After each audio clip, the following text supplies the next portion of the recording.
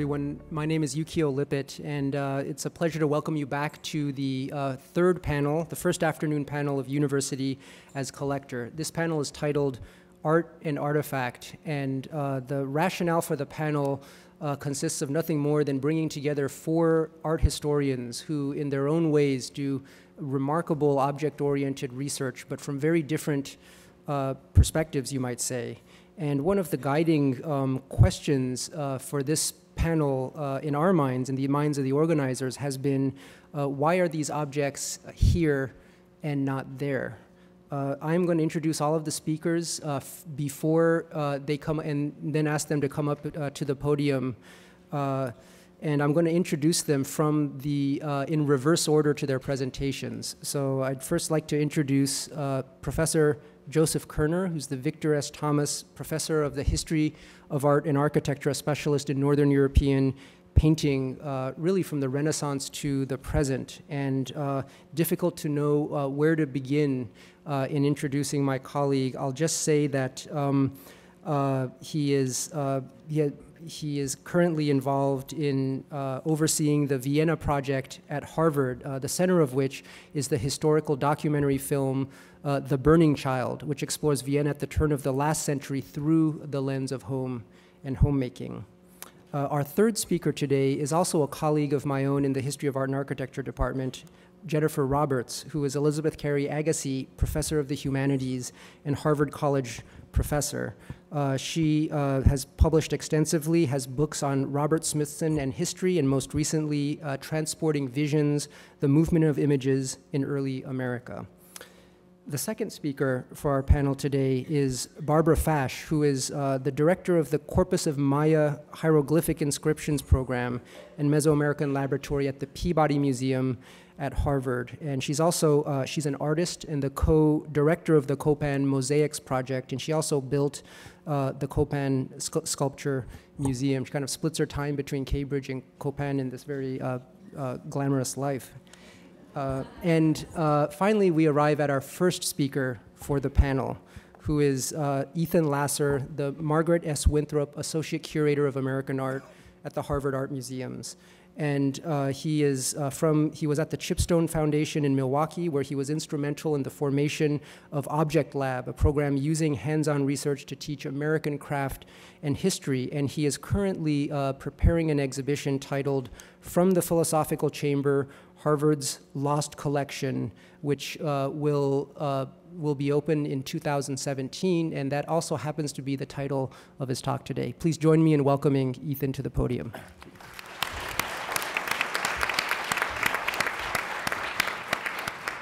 Well, thank you. Thanks for having me. I was thrilled to be invited to uh, be part of this conference because I've spent the really since I arrived at Harvard uh, two and a half years ago thinking about the university as collector, both in my role installing a present collection, the Harvard Art Museum's collection of American art, but also in researching uh, this collection from the past, which I'm going to talk about. And I should say, too, that uh, this talk will have some nice intersections with both the um, remarks this morning from Stephen Coit and from Professor, Professor Ulrich. So uh, I thank them, and you'll see a lot of kindredness between our different projects. So in the late 18th and early 19th century, the second floor of Harvard Hall, the space uh, roughly right here behind these windows, was home to a wide-ranging collection of portraits, prints, cutting-edge scientific instruments, ancient coins and medals, animal and mineral specimens, and a range of artifacts gathered on the first American circumnavigation. And this collection has its roots in a fire, which we heard a bit about already. In 1764, uh, an earlier structure on the site of Harvard Hall, Harvard Hall II, burned to the ground, uh, consuming the college library and a small but significant set of portraits and instruments. And Harvard officials immediately drew on a network of alumni and supporters to repair this loss. And within a decade, uh, a new collection was built that dwarfed its predecessor. So let's take a look inside. Uh, here's the second floor of Harvard Hall in plan from 1767. Uh, and by 1800, the building opens in 1766, and by 1800, these three rooms on the right are teeming with artifacts, with over 1,500 artifacts, uh, images and artifacts, instruments for teaching and research, uh, such as the object at upper right, a tray of slides for the compound microscope, now in the collection of historical scientific instruments. Uh, these instruments were held and uh, stored and displayed in a space called the apparatus chamber, or apparatus closet, which you see on the top there. Uh, curios collected abroad and specimens like the flattened fish in the middle, uh, this is a flattened and bisected suckerfish. They could be found in the uh, Grand University Museum, which you see on bottom right, which is about the size of a closet. Uh, and uh, objects from these two rooms were wheeled out uh, and carried out into the uh, philosophy school or philosophy chamber.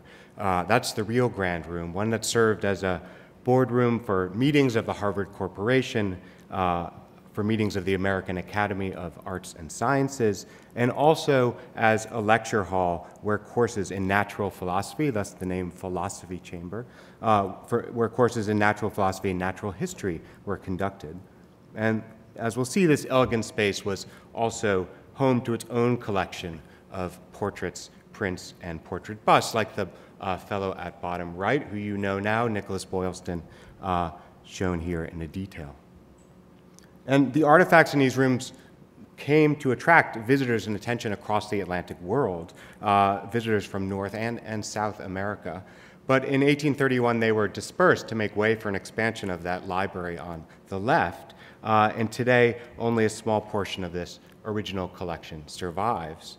And with the help uh, of uh, a great archive and with the help of colleagues from across campus, and I would echo Laurel's remarks about what uh, really has allowed me to do this research is the collection of Harvard experts in various museums and departments, uh, because with their help, we've tracked down almost 150 objects uh, from uh, this original collection. They're in museums, they're in departmental collections. We found things in closets and uh, even one attic.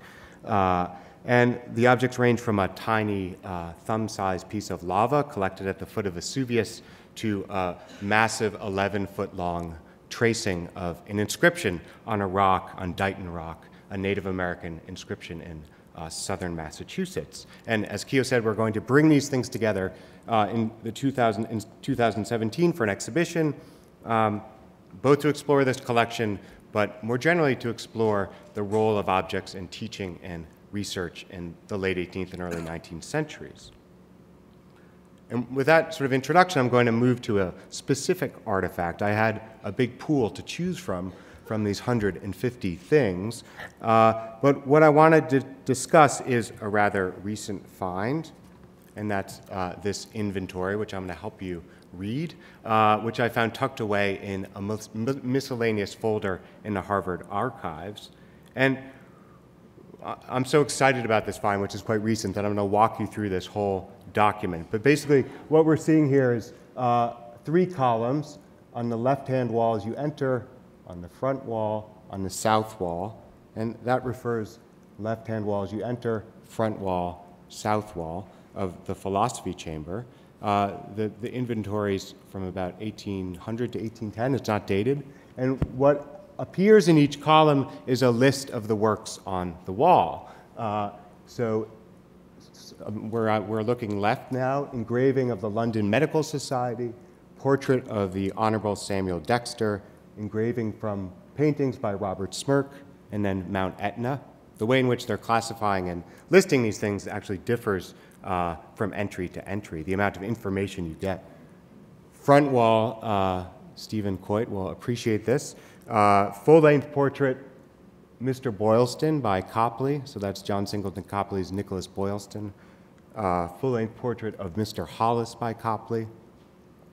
Then uh, some people we know, President Adams by Trumbull, Washington by Trumbull, Fisher Ames by Stuart, Plaster Cass, ancient philosophers Nero, Demosthenes, President Adams, Homer, Socrates. Yeah, Adams has a lot of, uh, wait, wait till you see Washington. Full-length portrait of Mr. Hancock by Copley, full-length portrait of Dr. Hersey by uh, Edward Savage, and then marble bust of Washington by Houdon. And the most motley uh, wall is the south wall, uh, the wall to your right as you enter the space. Finding of Moses from a painting by Pelham, so we get information that this is a print. Uh, Washington from a painting by Savage, our third George in the small room. Battle of Bunker Hill, Death of Montgomery, prints by Trumbull. Henry Laurens from a painting by Copley. Uh, plaster cast of the Earl of Chatham. The Agony in the Garden, The Annunciation, no information, prints, paintings, artist. Uh, and last, General Lincoln from a painting by Sargent. So 27 works uh, spread across three walls. And this very quick read makes clear, I think, that this is a hang that breaks all of our curatorial rules today, a hang in which prints intermingle with oils, the moderns sit next to the ancients, and certain subjects appear on the same wall in multiple formats Adams twice, Washington three times. Uh, and as you can imagine, there wasn't much space between these works either, none of that breathing room that curators like today. We're fortunate that, with the exception of the ancient busts, the front wall, uh, most of the works on the front wall survive, uh, and we've built a digital reconstruction, the research team and I, of what this wall would have looked like. So were you to walk into the philosophy chamber and say 1799, you would be greeted by something like this. Uh, there was a question earlier about the gen gender of the portrait collection, and uh, I can't help much there because what you see is an audience of uh, nine male faces staring back at you, and works jammed together so tightly that they coalesce into a kind of group portrait or grand piece of installation art. Uh, Boylston, Hollis, Adams, Washington, Ames, Hancock, Savage, Washington, Adams on top. Uh, and we are not showing these with the frame with their frames on, so you must imagine them even closer together. We've calculated there were six inches between each of the paintings. Uh, and it was all hung on top of this vibrant flock wallpaper that John Hancock donated in 1772. Uh, wallpaper, we, uh, a fragment of this was discovered in a renovation of Harvard Hall in the 1960s, so we know the room looked this vibrant. And uh, it's a room we're going to try and recreate, or, or this wall we'll try and recreate in the show. And I think it's important to keep in mind that while this installation may bring to mind, a, a, say, a library in a British country house or a dining hall at Oxford or Cambridge, or even the faculty room in University Hall that we've heard about, this was no staid or static display, but it was the backdrop against which generations of Harvard students learned natural philosophy and natural history. Uh, indeed, we know that this room was home to two large scale objects that made clear it was a space where art, science, and pedagogy crossed. An 18 foot uh, long case containing some 800 minerals stood in the center of the room, and so did this uh, extraordinary thing. This is the Joseph Pope Orrery, the first model of the solar system uh, made in Boston. So Harvard uh, owns some British orreries. This is the first one made in Boston. It's now in a collection of historical scientific instruments, and uh, it also stood in front of that wall of portraits uh, and is also a, a, work with its own portraits of uh, Newton, uh, Ben Franklin, and James Bowdoin, the governor of Massachusetts. And as I said earlier, artifacts from those other rooms, from the apparatus closet and the University Museum, also come out for handling, discussion, display, interpretation in front of that wall. So, uh, one way I think to approach this wall in our inventory is to think about the curatorial logic and ambitions behind the space.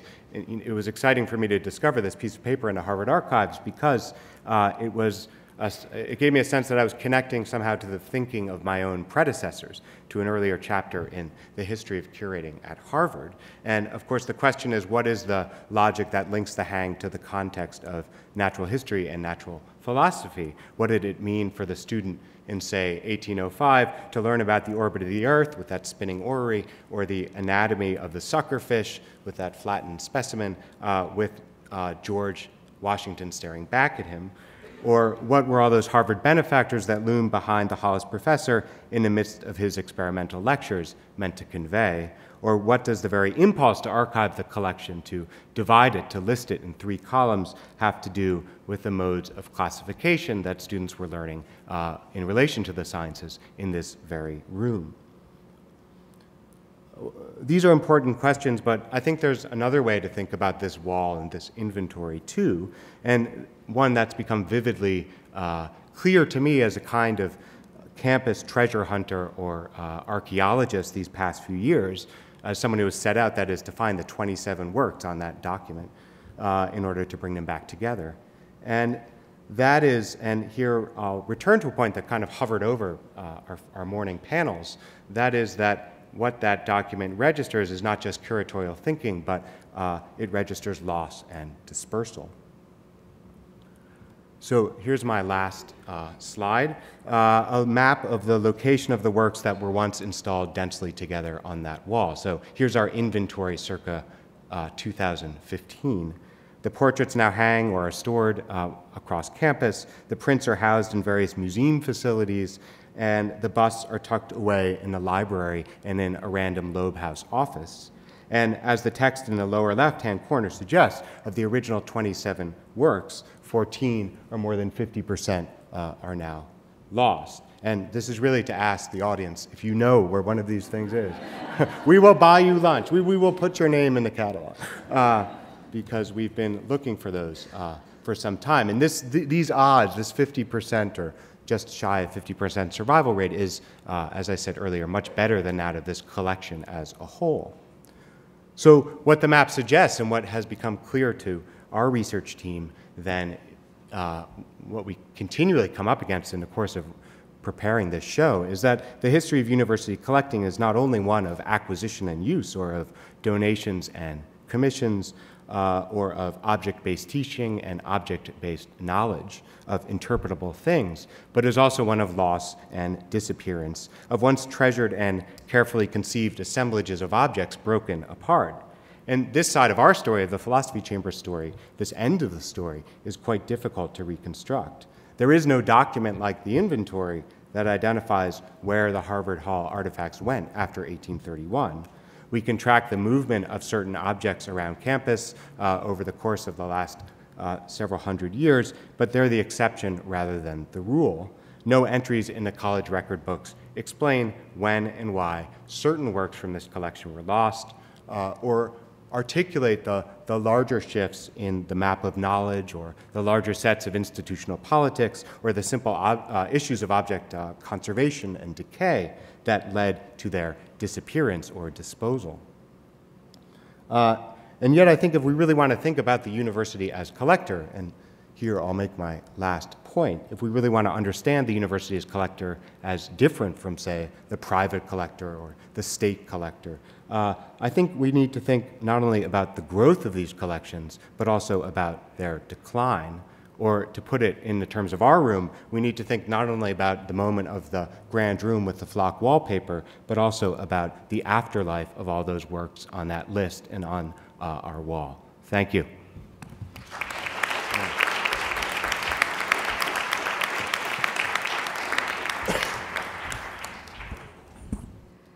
Uh, thank you to the organizers uh, for the invitation and for bringing all, all, of us scholars together as a collection. I think it's really been an interesting uh, session today. Um, I also want to thank my colleagues at the museum for their helpful um, feedback and statistics for this paper.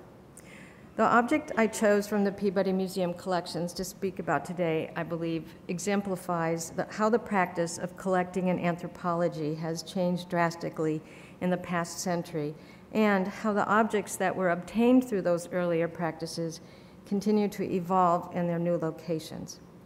This evolution involves research on the object, which in turn refocuses significance on the object's wider cultural context and brings a fresh understanding of its past, present, and future purposes. We commonly encounter the belief that if an object is not on display at the university, it is not being used I do?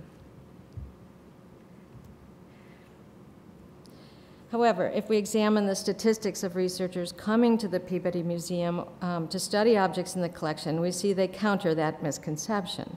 Over the past 12 years, from 2002 to 2014, when the museum first started tracking its research requests, on average, 260 researchers and 4,000 students per year have made use of the collections for scholarship probably many of them Laurel students looking for tortillas. Over 180 exhibits, both on the Harvard campus and in Loans, have shown hundreds of objects uh, to the public. And to be sure, there are seemingly endless objects awaiting rediscovery in the university's museum collections in the years ahead. As a research institution, the Peabody Museum's collections continue to be renewed and activated by engaging with communities around the globe through research and exhibits, such as sharing these historic 19th century photographs from the Peabody collection with the community that was captured in them many years ago. Today's object is one but, one, but one of many examples that my colleagues at the museums could uh, use to expand on this subject today. So now let's take a look at the chosen object, which was discovered at Copan, Honduras in 1892 during the Peabody Museum expedition to Central America. It is an 8th century Maya stone carving in several segments that was originally set into a stairway of hieroglyphs detailing the dynastic history of the site on each of its 64 steps representing what is believed to be ruler 13, named Waxaklajuun Ubaah K'awiil. The ruler is depicted as a warrior on a stairway that initially was built to commemorate his father, ruler 12, and sealed his burial location. Ironically, decades later, the upper second half of the stairway was constructed after the capture and beheading of ruler 13. In total, there are five seated figures gracing the stairway, but by the 1890s, all but one had fallen from its placement, having been dislodged during earthquakes. The carved inscription also car- suffered the same fate, so much for dynastic history. When the Peabody Museum expedition uncovered the collapsed hieroglyphic stairway in 1892, they had negotiated a concession with the Honduran government that permitted them to transport half of their findings back to Harvard for a period of 10 years. The seated figure was trimmed down with saws to lighten the load, which must have been considerable when carried on the backs of workmen to the port city of Izabal, Guatemala. The work was risky on many levels. Smallpox, yellow fever, and malaria were rampant in the region, and the expedition director, John Owens, a Harvard graduate student, contracted yellow fever and died in the rural village. Peabody Museum director Frederick Putnam had set forth the young expedition team to, quote, work in perfect harmony for the best results of science, unquote motivating them to acquire objects for scientific, archaeological, and ethnographic studies, and to highlight these obscure cultures at the World's Columbian Exposition. Nevertheless, in our century, when it is no longer legally permissible or deemed ethically correct to remove objects out of their countries of origins, their acts can be misconstrued as a thin veil for the popularity of collecting curiosities. In the 19th century, then, we see the seated figure, on the one hand, became something of a cultural ambassador for Honduran culture, and on another, a scientific prize for the university. The Harvard concession was not renewed in 1900, in large measure because the Peabody Museum had not fulfilled a part of the concession to the satisfaction of the Honduran government, which was to construct an on site museum in Copan, instead, trying to pass off this pole and thatch rancho as sufficient for the job. Nevertheless, 100 years later, Harvard came through with assistance and expertise to construct the Copan Sculpture Museum, which today protects the monuments and educates the public and school children in the purpose and meaning of ancient sculptural arts. 35 years after the Peabody excavation ceased, the Carnegie Institution of Washington embarked on a collaborative project with the government of Honduras to excavate and repair monuments at the site. One project was to carry out a reconstruction of the stairway, and in so doing, they left a space for the Peabody seated figure, merely guessing as to its placement. With that action, the object became a distant missing entity, no longer an ambassador or even able to be visually recalled by any living inhabitant at Copan. Nevertheless, it loomed in the consciousness of locals as a long lost relative, the vacant space on the steps, a constant reminder of its absence. Though countless other sculptures had been removed from the site illegally by locals and foreigners at that time, paradoxically, they went unheeded as the focus zeroed in on the legally removed stairway figure, most likely due to its prominent placeholder on the steps and the Harvard name associated with it. Joining 38 other museum lenders in 1970, the Peabody Museum loaned the figure and several other sculptures from Copan for the centennial exhibit at the Met called Before Cortez. On its return to the Peabody, it was installed on the third floor, where it remained on public exhibit until 2010, when it was deinstalled for 3D scanning and maintenance. The hope was to return the uh, object to exhibit up, with updated information in 2011. However, it currently remains in storage. For centuries, the stairway has captivated scholars in attempts to decipher its message and put it back in order. My contributions to the cause began in 1978 with the first technically accurate documentation and continues today with conservation efforts, local training, archival research, 3D documentation, and studies of the inscription with a team of epigraphers using the digitized photographs from the Peabody Museum's 19th century glass plate images. Now armed with an ever increasing body of fresh decipherments to apply to the text, it is 80% deciphered.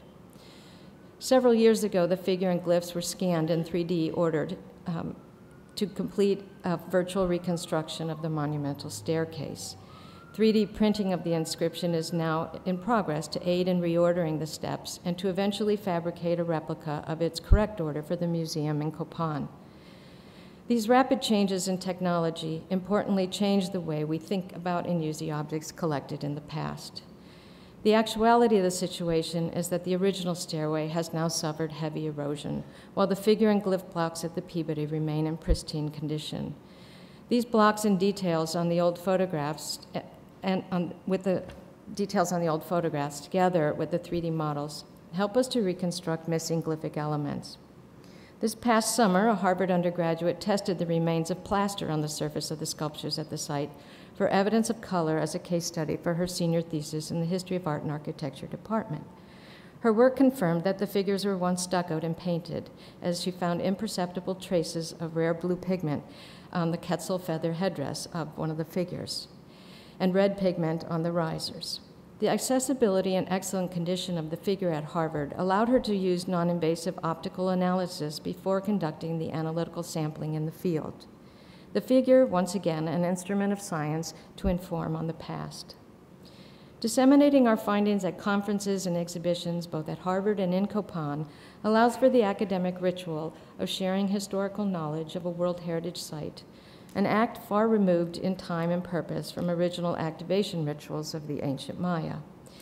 Partnering with local organizations to provide responsible care for the stairway carries the figure into a new focus as a placeholder in time, bringing archaeological and museum scholarship together with the local public to collectively preserve a mutual history and advance scientific knowledge about the past. These new studies have revived an interest in the conservation and interpretation of the monument locally, and in my mind, reactivated the essence of the 8th century figure as an embodiment of the Maya ancestors through space and time, and expands the university's collection to new dimensions beyond the walls of the college itself. Thank you.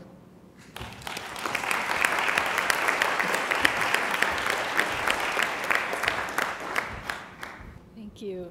Um, and thank you to Keo and Julie for putting together such a magnificent conference. Um, my paper today is actually an artifact of my engagement with the Harvard map collection, which is a collection where I am not particularly comfortable but I was happily forced into it by the closure of the art museums and the consequent inaccessibility of almost everything in that collection for quite a long period of time. Uh, so one door closed of the art museums for at least 12 months, and I think it was useful for all of us to spread out across campus and visit and work with other collections. So, in December of 1733 in London, Henry Popple published a map of the British Empire in America with the French and Spanish settlements adjacent thereto. Drawn on the Mercator projection, it showed a massive expanse of territory in the Americas between 5 and 55 degrees latitude. Very large scale maps like this, covering the whole sweep of the colonial territories, were strategically important as the European powers struggled over the continent's control during this period. If the map was large scale, it was also simply large size. In fact, it was the single largest map printed in England during the 18th century. The image I'm showing you on the screen looks like a single page, but in fact the map was printed on 20 sheets of imperial size paper, When joined and mounted together, usually on a piece of linen, to form a full wall map, the sheets measured about eight feet square. One could display one's map this way if you had sufficient wall space, but you could also purchase it as loose sheets or bound in an atlas. To my knowledge, Harvard owns three copies of this map. Two are in the form of loose sheets in the Harvard Map Collection, and one is in the form of an atlas at Houghton.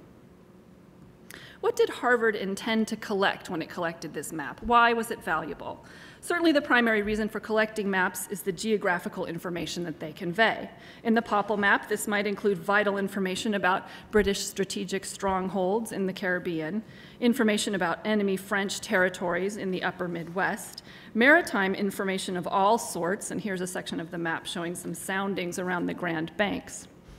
As this map or any map ages, this cartographic knowledge shifts from fresh information into historical knowledge, revealing the state of past understandings of territories.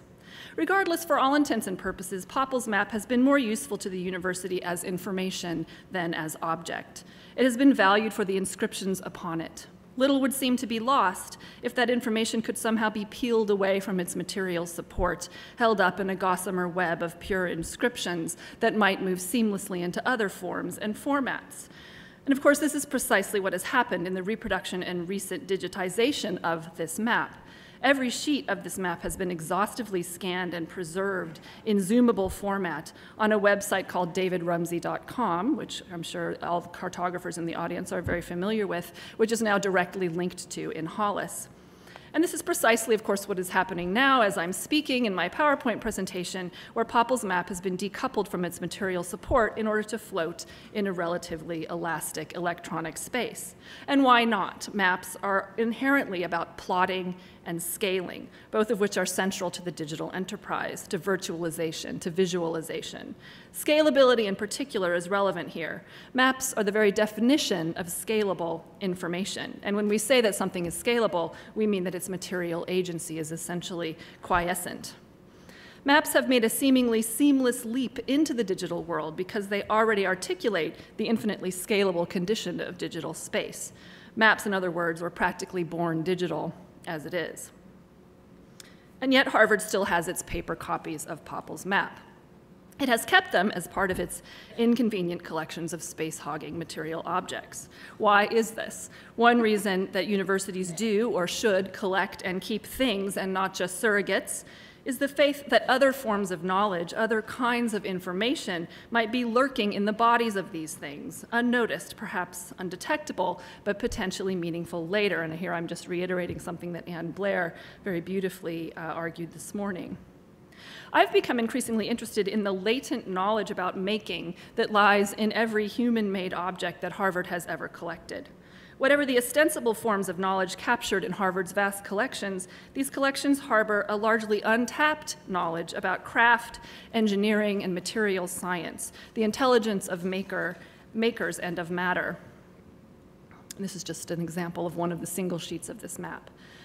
Maps tell us about the cartographic imagination of their moment, but also about the imagination of etchers and engravers and printers and paper makers. The inscriptive content on maps, that scalable, calculable, immaterial information, requires, in fact, immense skill and material knowledge in order to be brought into being. And indeed, it's the expert manipulation of materials that permits the apparent retreat of, material, of materiality uh, in the map itself.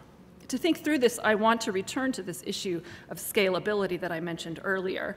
At the level of information, scale is not supposed to matter. You can zoom in and out of a map without changing its meaning. But at the level of matter and making, scale is a crucial variable, one that makes all the difference in the ability of a map to function. To give just one example, a deep and complex engagement with the scale of inscriptions on the copper plate was necessary in order to create significant information on Popple's finished map. The copper plates used for intaglio printing are delicate and highly impressionable. They're soft enough that the slightest scratch, even a fingerprint or the texture of a cloth, will be picked up by the plate, receive ink, and then show up on the finished print. This is why a key step in any map making process was the laborious polishing of that plate to a mirror finish using a series of finer and finer grained cloths. One of the hallmarks of a fine engraving was the clean white page ground that resulted from what we might call good plate hygiene, a carefully, laboriously polished plate, then wiped of all stray ink. Of course, the degree of, of, purity and smoothness of a polished surface is highly dependent on the scale at which one considers that surface. Indeed, all intaglio prints bear tiny scratches and pockmarks somewhere, symptoms of the limitation of the polishing tools and artifacts of the living surface of the copper. The practice of polishing could not hope to remove all marks absolutely, but rather only to drive those marks down below the threshold of attention, or at least to drive them down below the threshold at which they might be mistaken for intentionally engraved marks. In other words, these scratches must be small enough that they lurk below the threshold of, of significance in the register of error and noise, along with, say, the flecks of color in the rag paper. They should signify only the raw background materiality of the printing process. We see here that the fundamental boundary between meaning and materiality, information and noise, is patrolled by the skills of map printers and especially by their sensitivity to the scale of the materials with which they work. This skill, this work, is something akin to what we would call today information labor, expertise and skill largely invisible that goes into creating the conditions necessary for information to emerge. In an art print or a printed text, it may not matter whether a scratch intrudes upon the scene. An epistemological crisis would not erupt. But in a map, much more is at stake in distinguishing the semiotic content of the map from the grain of the materials. A pock or a scratch placed just so might create an ambiguous island or peninsula or deform a crucial political boundary. As the scale of the map is reduced, or in other words, as the meaningful marks become smaller and smaller in relation to the grain of the materials, this, this threshold becomes more and more narrow and sensitive, and any ding in the surface of the plate threatens to suggest itself as cartographically significant. A good example is here in the general area of Bermuda on the key map that Popple published along with his large map. Here we're beginning to approach the limit at which common printing or polishing glitches adopt the same scale as cartographic marks. What is that double speck over there a few miles west of the island? Is it a tiny pock in the copper plate that has picked up some ink, or is it a massive rock that will sink your ship? It's actually almost impossible to tell simply by looking at the map. The more I stared at this mark on this map, for example, the more it bothered me. You know, is that a pock or a rock? It bothered me so much that I actually went on Google Maps to see if there was, in fact, an island over there. I don't think there actually is. Given this epistemological uncertainty around scale, um, uh, making, an error, I want to conclude with a cluster of scratches that I found on the Popple map about two years ago while poring over the sheets in the map collection. This is sheet 11 of Popple's map. It is almost completely empty of genuine cartographic information. It shows a portion of the Atlantic Ocean that is populated almost entirely by an empty graticule, a compass rose, an interrupted phrase, and a series of etched ships. The map bears true geographical knowledge about only one tiny piece of land, Bermuda there, visible here um, in a colored copy of the map as a blue dot. There is a faint smudge on the margin of this sheet, below the second A in Atlantic. It's easy to miss because although it's tucked within the plate mark area, it lies outside of the inscribed grid of the sheet, outside, in other words, the part of the print that is designated as the information bearing area. On each of the sheets of the map, this tenuous border zone tends to be populated by scratches and smudges. Since it didn't bear meaningful cartographic significance, this part of the plate was not generally polished or burnished as carefully as other parts. Moreover, situated as it was along the edges of the copper plate, it was more prone to fingerprints and other artifacts of handling and manipulation in the printing process. Indeed, the smudge is about the size of a small fingerprint made by the end of a pinky finger. So this smudge occupies a kind of space that is the very definition of insignificant. It's a rift, a non-space made insignificant by virtue of its position in the map's territories of information.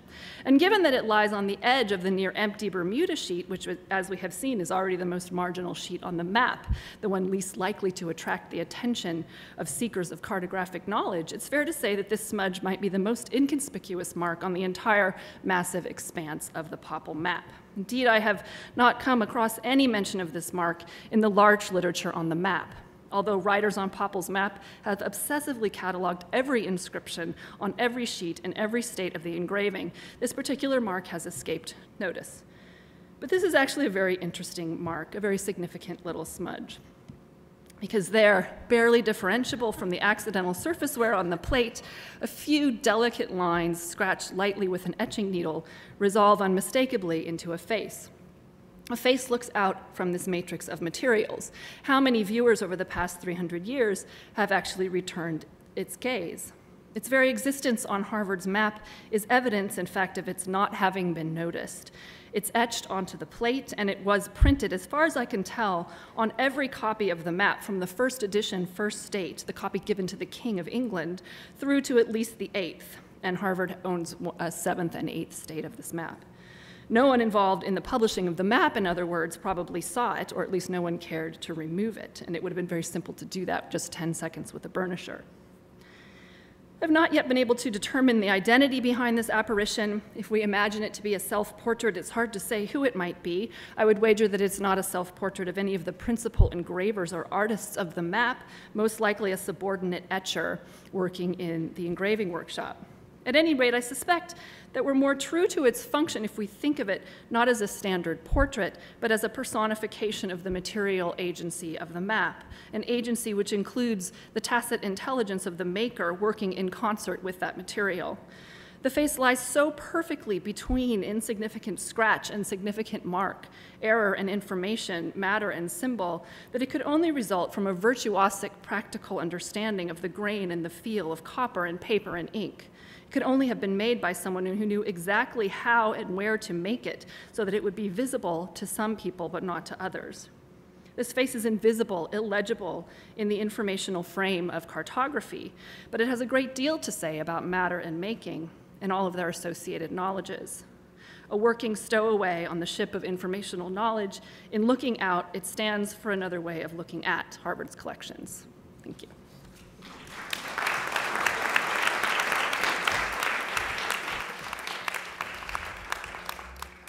Thank you, Yukio. Thank you, Julie, for a great uh, conference. It's wonderful to be here. Um, well, when, when the Harvard Art Museums opened its doors again, it opened its doors in November after nearly six years of uh, renovation, during which time, as uh, we learned, you learn a lot from the objects that you, you don't get to see.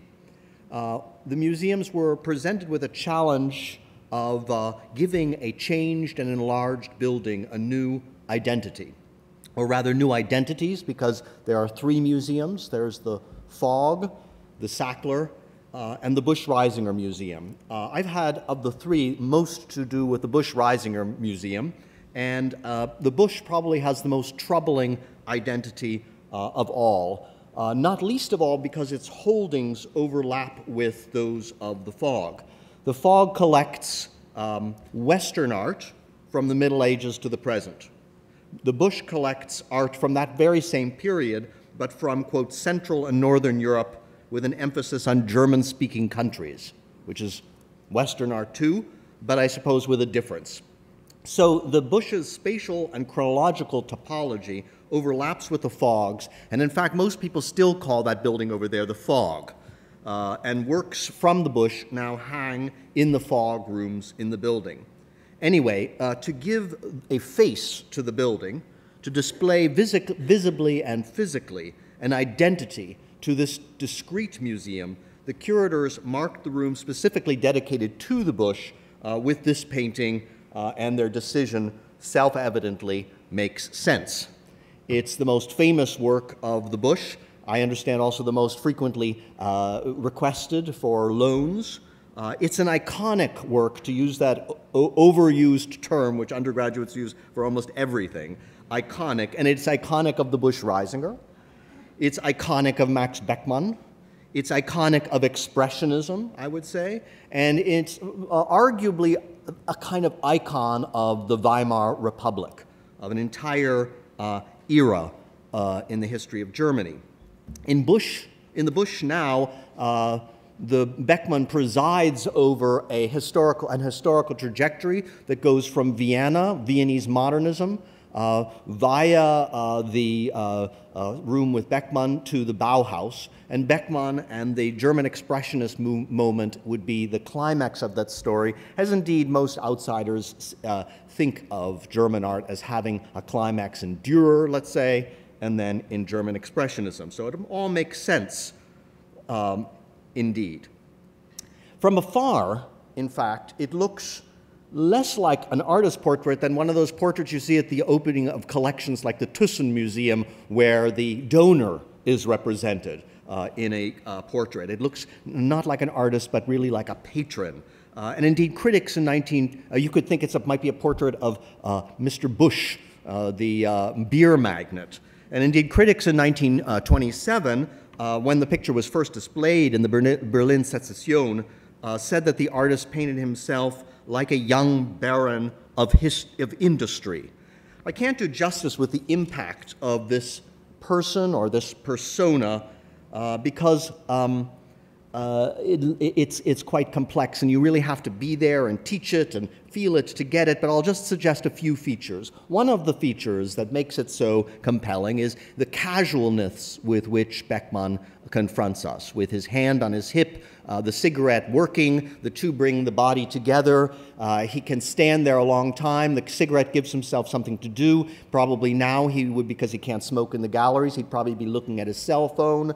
Uh, but he's not looking at his cell phone, he's looking at us, and that's, of course, the other incredible aspect of it this confrontational relationship to the viewer, uh, in which it seems too intimate and at the same time uh, uh, too intimate to be friendly. Uh, it almost has an aggressive aspect to it. And if anybody paints, you'll know it's very hard to uh, paint uh, a likeness frontal likeness. That's the reason why people always do three quarters. it's natural to self portraiture, but in this case, the frontal likeness, as we'll see, gives rise to a peculiarly complex kind of image of the face.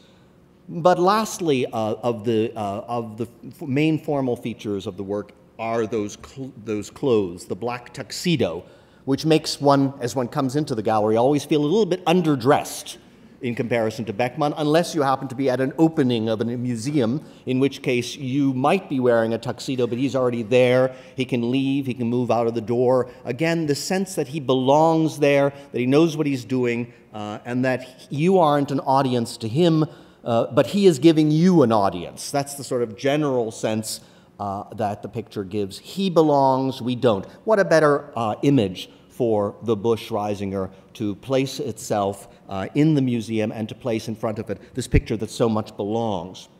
But the tuxedo signals a certain kind of belonging. The Viennese critic and architect Adolf Loos captured this in his commentary on men's clothing, and he said, An article of dress is modern if, when wearing it on a particular occasion, in the best society, at the center of one's culture, one attracts as little attention as possible to oneself. Loos wrote this in 1898, and what he means is that somehow one should disappear into the woodwork, but only at the center of society, which would mean a party for him in London or in New York. He says that if you actually show up in Vienna wearing Viennese clothes, you will, be, you will uh, stand out, because he's suggesting that Viennese are always weirdly, locally, provincially dressed. The point is, uh, that Loos was making is to become a cosmopolitan, to disappear, and that being the mark of a modern person. A modern person doesn't show themselves in their clothes, you disappear into the backdrop. Max Beckmann wrote something similar, 1927, many years later, in the painting, in, the, uh, in a uh, essay uh, exactly contemporary with the painting, and he said, "The new priests of this cultural uh, center must be dressed in dark suits or on a state occasion appear in tuxedo. He means by priests, the artists. He, their religion is a religion of God as man, of self. Um, and why are artists priests? Because they're shapers. And what they shape is identity. And how they shape it isn't simply some kind of metaphysical thing, but by the way an artist paints, they shape a new identity. So, why the tuxedo? Because Beckmann argues that a tuxedo is what you wear in a uh, affair of state. And so, what he's doing wearing that tuxedo is he is embodying state formation the way the artist can be by the way they paint and by the way they are the creators of a new kind of state. The new kind of state that Beckmann is imagining is a European state that is balanced between powers, hence the balance of the composition. It's all very programmatic, and it should be centered, like the centered body, should be centered, but not in any capital, in Paris, London, Vienna, or Berlin. It should be centered in the central person, in the modern person, and should be therefore not a polis, but a cosmopolis. Nice picture then for the Fogg, that cosmopolitan collection. But how does it come to be in the Busch Reisinger, a collection which has to do with local identities? Well, the university acquired the painting in 1941 in the moment which couldn't have been less cosmopolitan, the moment of the greatest uh, uncentered, the greatest violently unbalanced moment in the 20th century uh, in the West. So how, did, so how did then the Busch acquire the picture?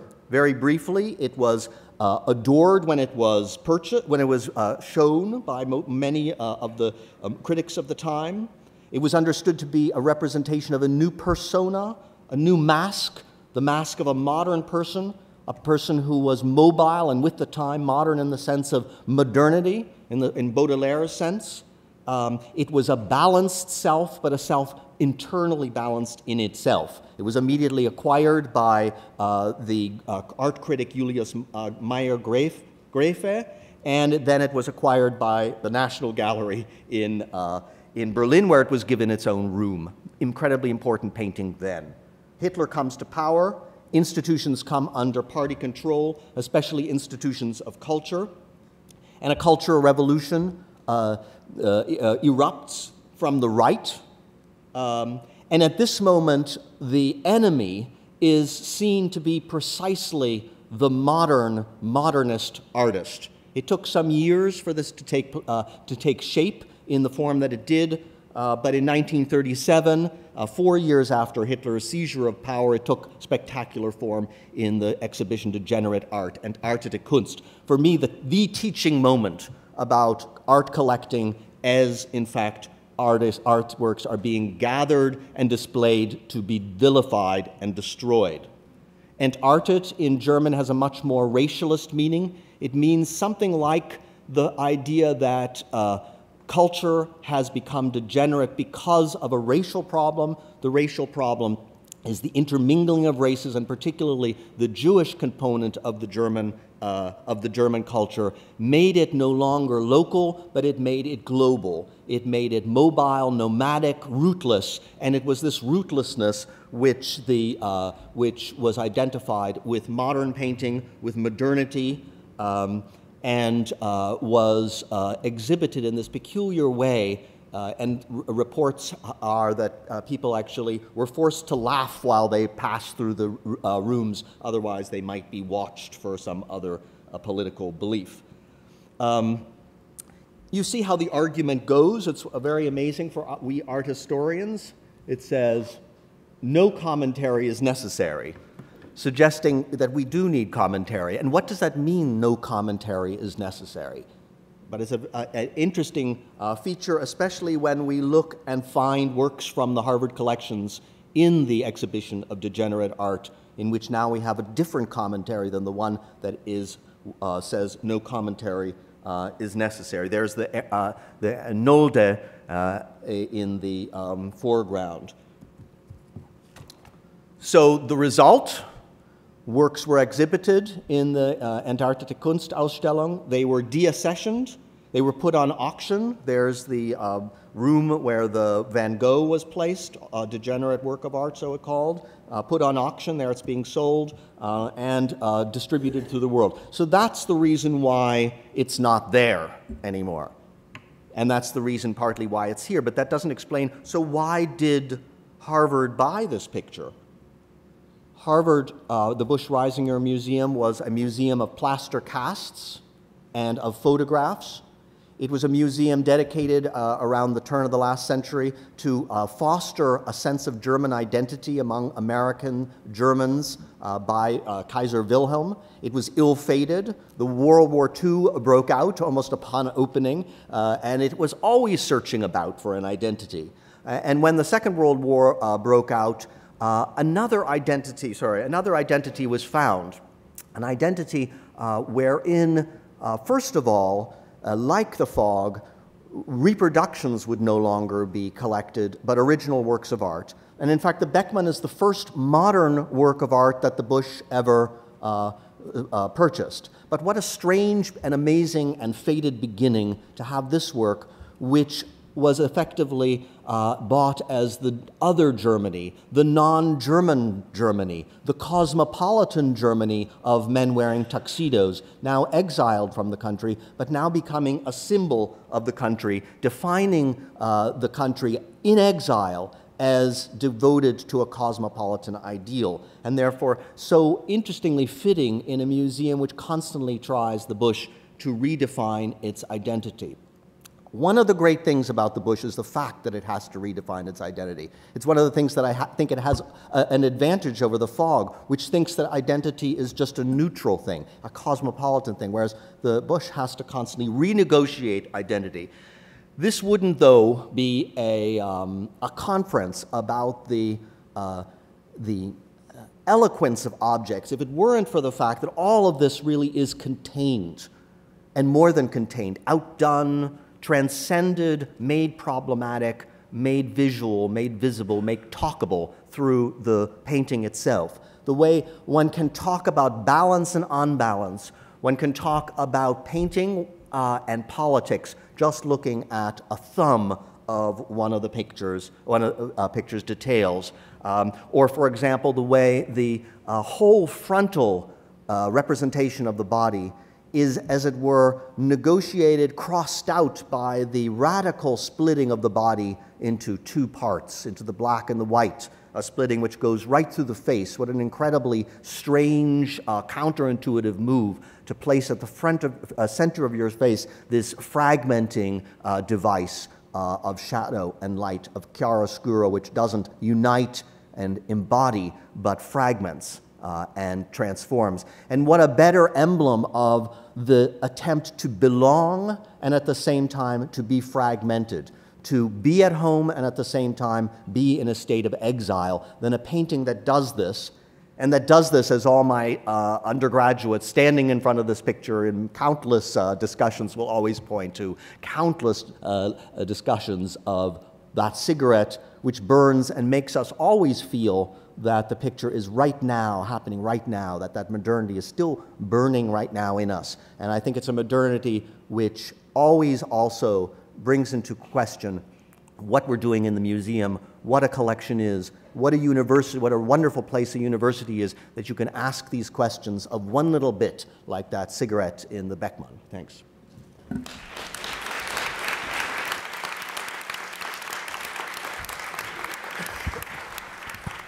Uh, thank you very much. I'd like to thank our, our four speakers for, uh, again, a really dynamic set of talks, which um, bring very, I would say, uh, a differing set of concerns and sensibilities to the objects they examine, but there nevertheless are quite a few uniting uh, elements to the talks as well. And in the spirit of starting off the question and answer session. And I invite everybody to please come up to the uh, microphone, which is set up in the aisle, and uh, to ask questions. I wanted to uh, ask a, a, a, quick question of our, of our panelists, uh, which was um, provoked uh, to a certain extent by some of the uh, images that came up during the presentation in Joseph's talk that the kind of disturbing photo of the forced laughter in front of the paintings and the degenerate uh, art exhibit, but um, we are all dealing with uh, these uh, remarkable objects, which uh, uh, in certain ways, but it made me wonder um, what kinds of uh,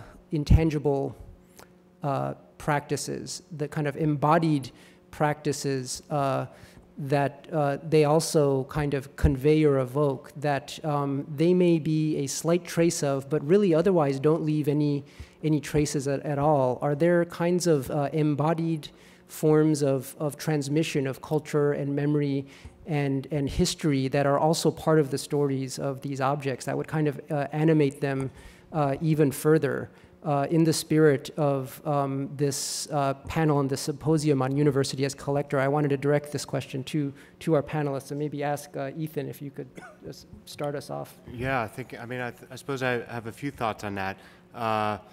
One object that uh, I, I, talked about this deposit of material from the first American circumnavigation, and just yesterday, actually, we were looking at the Peabody Museum at labrets, the lip ornaments which they collected by the uh, tens, really, on the northwest coast uh, that women wore. And one of the labrets had a, a, big break in the center that had been repaired, and uh, it brought uh, to mind for me the fact that when we think of our collections and objects today, we were wearing gloves as we handled this thing, and touch is a violated, uh, almost a kind of violated um, method of engagement, at least from an art museum perspective.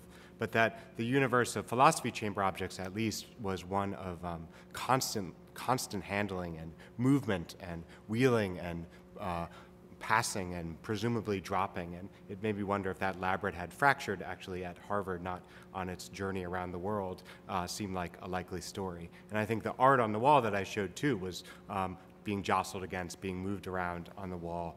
Uh, and uh, the kind of uh, the, the value or the way we uh, revere this stuff seems to be different. Thank you.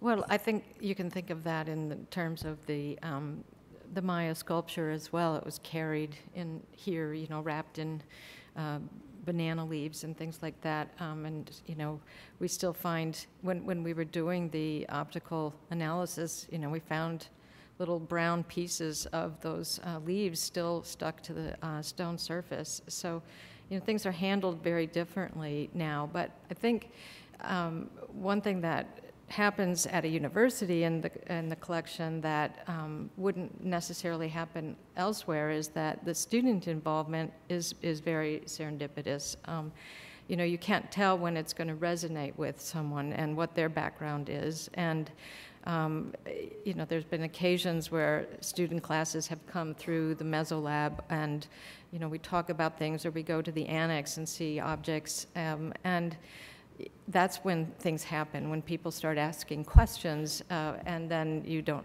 you realize you don't know the answer, or you need to dig further, and then that becomes their research topic. So, um, you know, that was how the Fragile Memory exhibit really took uh, form as a graduate student working with me said, who are these people in the photos? And that's how we found out who that man was standing next to the figure. So I think that's the, the wonder of, of working, uh, having these collections at the universities, being able to have that kind of serendipitous uh, occasion happen. You might call it the uh, practice of classroom or pedagogical comportment to a certain extent. it brings them to life. Um, I would, I, I, I, was struck by how um, both Joseph and I were talking about a certain labor of disappearance that goes into objects, that, you know, any art object or artifact uh, it shows something, but that's always by virtue of not showing something else. That these objects work very hard not to show some things, whether it's um, how that clean white background paper was made or um, how one wears a tuxedo to blend in rather than to be conspicuous. And so um, I like to think about about the sort of negative space around objects as something that is also defined by them in some way. Um, and you can think of that too in terms of these sort of embodied rituals that surround objects, uh, which would be perhaps completely lost to us if we didn't have the object as this kind of empty center of those rituals that, that will at least make it possible to ask questions about the sort of lost gestures or movements that animated it in the past. So I would say we still need the objects in order to even to ask about what they can't show us. Uh, I think one of the um, amazing features of painting and why, despite all the times when everybody thinks that painting is dead, painting continues to go on, is that it, uh, it makes you think that there's nothing that you're not supposed to look at. Everything, and I just take, take that cigarette butt it's just there for you to look at. It's about it's being there for you to look at, and he thought a lot about it, and if it wasn't there, the whole picture would, wouldn't work. On the other hand, uh, looking at the history of art, you see how often uh, uh, people's understanding of the image uh, is very limited, like the, the amazing uh, face, because of the people uh, looking at the map, they miss the face. Uh, and in, in, to me, one of the most uh, dramatic experiences of that was I was discovered by an art historian, rather postmodern art historian, uh, Georges Didi Huberman, when he pointed out that uh, Fra Angelicos are routinely uh, photographed and reproduced only the image, whereas all around them are spackling of marble, sort of pseudo marble. It's all painted marble. And everybody thought that's not part of the work. But actually, it's a part of the work, and it's probably the deepest part of the work because it's like abstract painting avant la lettre. It, it, has a symbolism about the, uh, about the passion, about the uh, milk of the Virgin Mary, around the tomb of Christ, about the sarcophagus. But it's our own framework that didn't make us see that, uh, that upfrontness of the painting. The most painted part of the picture, that it's not an illusion, is in fact the whole center. Uh, and I think th that is, um, th as an art historian, I find that a, a nice thing to work with is that art really is, really is a lot about showing and looking. It was made to be shown and you look. But at the same time, therefore, when something comes up that's concealed uh, and that only time reveals, either historical time or time looking at it, it's very exciting.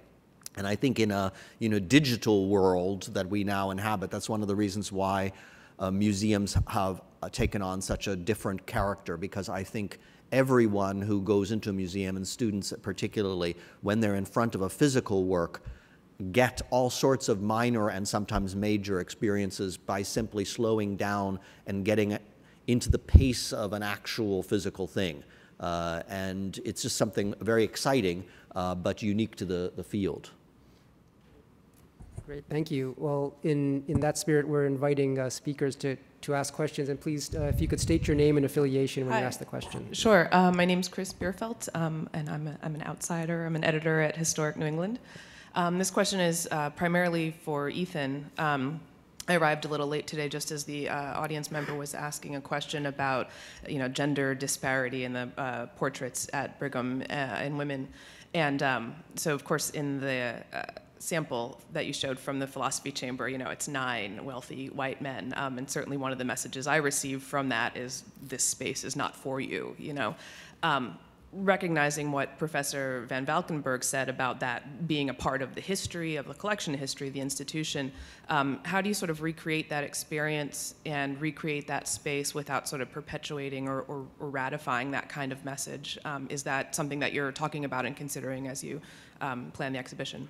Yeah, I mean, uh, certainly something on our mind and a good question. Uh, the same question in some ways applies to how you frame, say, a gift from the Pacific or from Native American artifacts being brought in as uh, sort of trophies or imperialist trophies in 1790. How do you uh, get into the history of this collection without um, being sens- you know, being thinking about that, but not uh, rehearsing it. So I, I think, first of all, the, the story of women in a philosophy chamber is more complicated than it seems. Uh, there are uh, a few uh, a few donations. The space is all donation, and we know that some women were among the donors, particularly of natural history collections. And we also know that they were uh, members, attendees of some of the lectures that went on in the space. Uh, but we can't get around the wall, and the wall is actually more male than even I alluded because it has, I, I didn't show like six of the uh, marble bust gazing back. And uh, we're, we're trying to understand uh, what it was to be a student in 1799 and what that was saying and who it was saying to and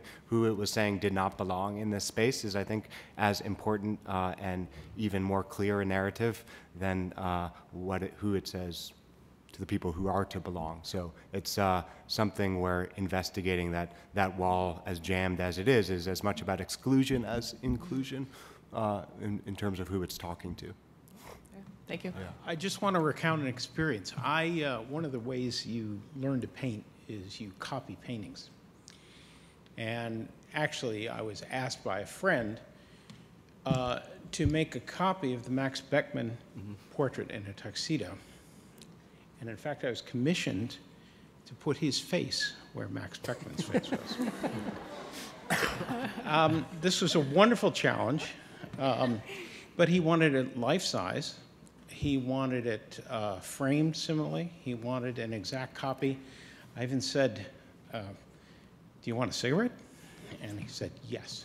Um, and I must say, it does now hang in this dining room in Manchester. Uh, his kids think it's hilarious.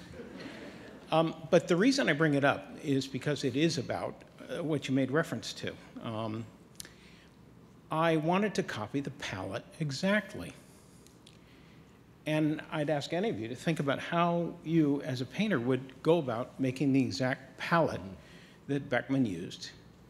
So at first, I took my camera, took it was legal, uh, took a picture, and I realized the camera doesn't. It it, it fools around with colors, and and then when I printed it out, it it came out. To, so I said, oh well, well I'll I'll buy a postcard uh, from the uh, Harvard Art Museums and take home. Well, two of the postcards didn't exactly match, and um, they didn't look right to my eye. So I said, well, let's go online. And I look up Max Beckmann's portrait in tuxedo, and you pull up maybe 25 images, all of which are different. Mm -hmm. And which one do I use? And I realized there is no way I could figure out the palette mm -hmm. short of going there and bringing my paints with me, which was not legal. Mm -hmm. So I took my best shot, but it meant that I had to go back frequently to look at it and, and actually bring a little palette of what I'd done and see whether it looked right in the right light, which is another problem, because uh, the light in my studio is different from the light in the gallery. And I'll just say, it's, it taught me the uh, seductive inadequacy of digital imagery, that there is no way to figure out the palette of the Max Beckmann portrait short of actually going there. Yes. That, yes. I'm not sure it's a question, but no, but it's a it's a, a, great comment, and it raises an issue which you see when you're looking at it as any and and using it as an object of conversation. That as you move back and forth an inch or so, certain bits of the of the face and of the painting are uh, more shiny than the, than the others, and that it's not just a matter of color; it's a matter of sheen, and that because it's all invested with this huge explicit weight of history, the fact that that sheen and that unbalance is intended to uh, embody what we are as modern people, mobile, uh, transitory. It gives a great, uh, both allegorical, I suppose, but also extremely straightforward understanding of the way in which painting is this incredibly elusive medium that not only as you say, can't be a photographed, but no one photograph could, could uh, capture it because it's actually, you have to be mobile to actually see the painting, despite the fact that it's so frontal. Uh, and that's a, uh, and, and, thank, uh, thank you for that uh, first-hand field work. Yes. I'm sorry, I couldn't help myself. Uh, I'm Lynette Roth. Lynette. I'm the curator of the Busch Reisinger Museum. Uh, thank you, Joseph. Um, I wanted to add it was not a very um, difficult decision to make, obviously, to hang the Beckmann where it now hangs in the new uh, building. Uh, and actually, it, it brings up the question, I think, that's kind of um, surrounding a lot of what we've been talking about so far uh, during this part of the, the day, and that's about the sort of interest really in historiography and our own interest also as curators, as art historians in our own history, sort of the history of art history and the history of our own institutions. And obviously, the Busch Reisinger Museum, um, as you so rightly noted, sort of has to kind of deal with its own history um, because it is um, so unique and so fraught, um, and this sort of constant idea of reinventing itself. And there's this amazing photograph, uh, which I found in the Busch Reisinger Museum archive, that actually shows the Max Beckmann when it first was shown uh, by the museum in 1940, even before it was purchased by the museum, um, in an exhibition uh, in which you sort of see it in historic Adolphus Busch Hall, uh, flanked on either side by plaster casts of the synagogue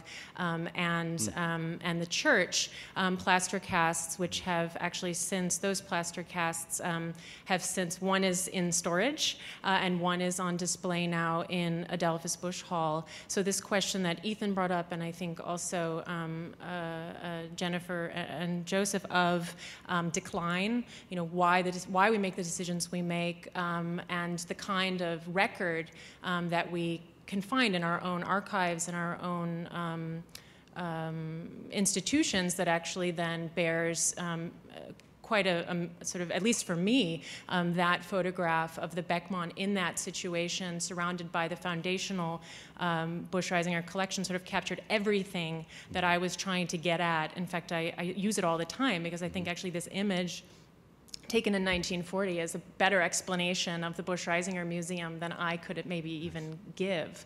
Um, and yet we don't think about those plaster casts in the same way. I noticed on Ethan's list, most of the works that had disappeared were indeed the plaster casts. Um, and that's something that we're exploring now as well for the, for the Busch Reisinger collection. How can we actually think about those foundational collections, the question of the reproduction, the way that these collections were actually founded on, you know, really the idea in many ways of the replica. Um, so that's also more of a, a comment than a question. But I would actually be interested to know how much, you know, this idea of um, as a university, as, as collector, you know, is there really a limit to historiography? I mean, when are we going, when are we just kind of, you know, looking at our own belly buttons and when are we actually doing, um, you know, the kind of work I think that comes from the close looking that Jennifer was doing with the, with the map collection? Where's the, you know, where's the balance there? This is just a sort of an aside from what you're saying, but um, I think that all of our um, talks were revealed really how seeing and looking very closely at something can tell you a lot more about it than just a superficial look or a photograph. And that this, uh, I think, resonates with the earlier talks this morning about really needing to see the object and being able to handle it. It's one of the great things about the New Art Museum is that you can actually take these things into study rooms and see them. Also at the Peabody, we have uh, classrooms for that purpose. And um, I think that, uh, you know, with all the new technology that we have at our disposal, that um, seeing with the naked eye is still really important, but not just that, but being able to um, copy things, as Stephen was saying. He knows that um, painting probably better than many people because he had to copy it. And um, those plaster casts were useful for that purpose um, because students and other people who drew from them, and that's really how we embed that memory in our brains. Um, so having people draw things, um, I think, is really important, and having the objects available for that as well.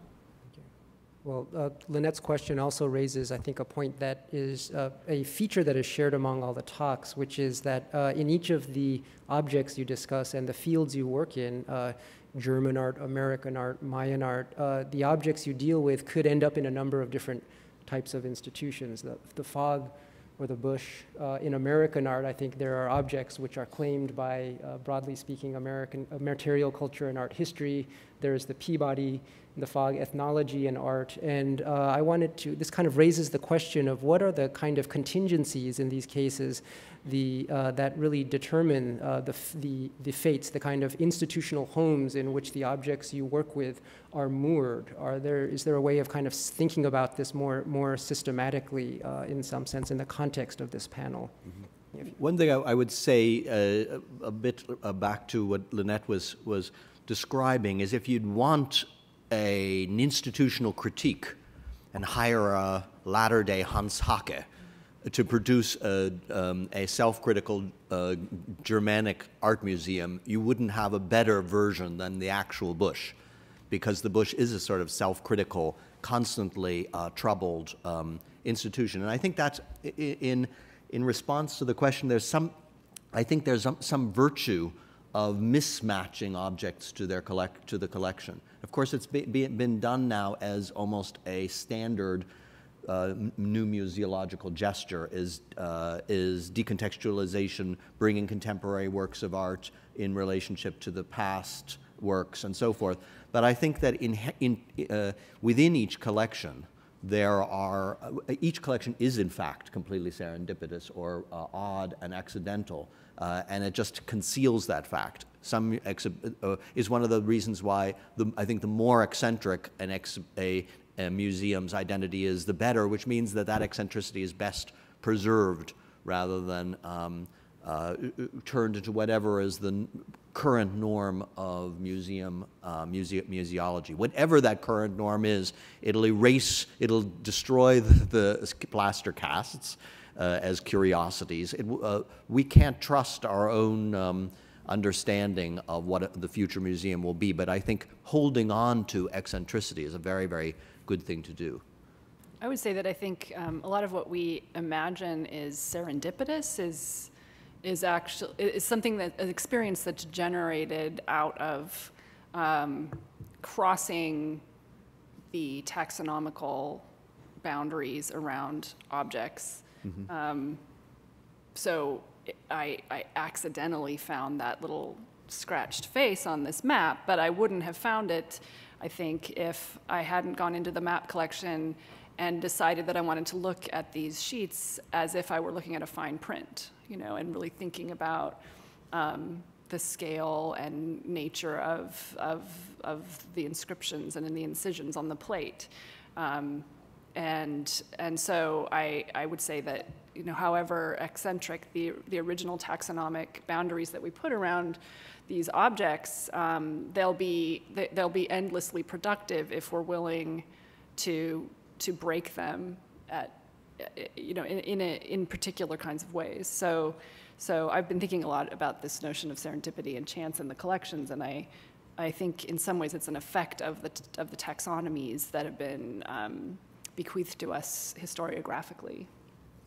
I just I mean, to this question of why, where, why things are where they are now, I think another thing that has been interesting as we try and track the movement of different objects around campus is that it's like, it's this circulation that happens outside the market, right? Things aren't sold from one collection to the other, but it has everything to do with critical fortune too, so that the Copleys are banished from the uh, Fogg Museum when American painting is kind of banished from Harvard, and uh, that um, decision plays out uh, across every different part of this small collection that we're looking at, where uh, the privileged object of the time gets saved and preserved and brought up to the privileged institution of the time.